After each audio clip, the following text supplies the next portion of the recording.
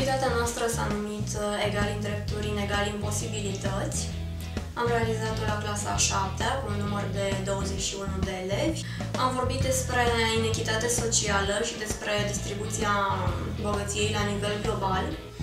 Le-am explicat copiilor că există un uh, măr pentru fiecare dintre ei, dar în momentul în care le-am împărțit, le-am spus că 80% dintre ei vor primi 20% dintre mere, iar um, ceilalți 20% vor primi 80% dintre mere. Am uh, urmărit uh, asumarea responsabilității uh, și formarea noțiunilor de dreptate uh, socială.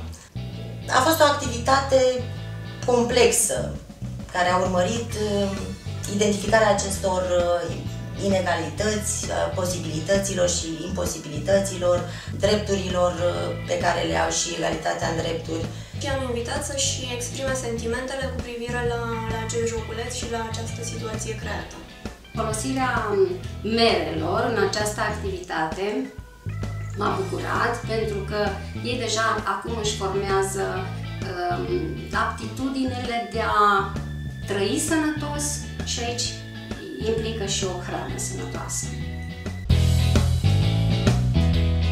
Eu nu am primit niciun măr. Vin din America, am primit patru mere. Sunt din Turcia, sunt casnică și totuși n-am, și n-am primit niciun măr. Am primit un singur măr, am reprezentat China. Eu nu am primit niciun măr, am venit din Haiti, sunt muncitoare. Vin din Maroc, sunt traducătoare și am primit doar un măr.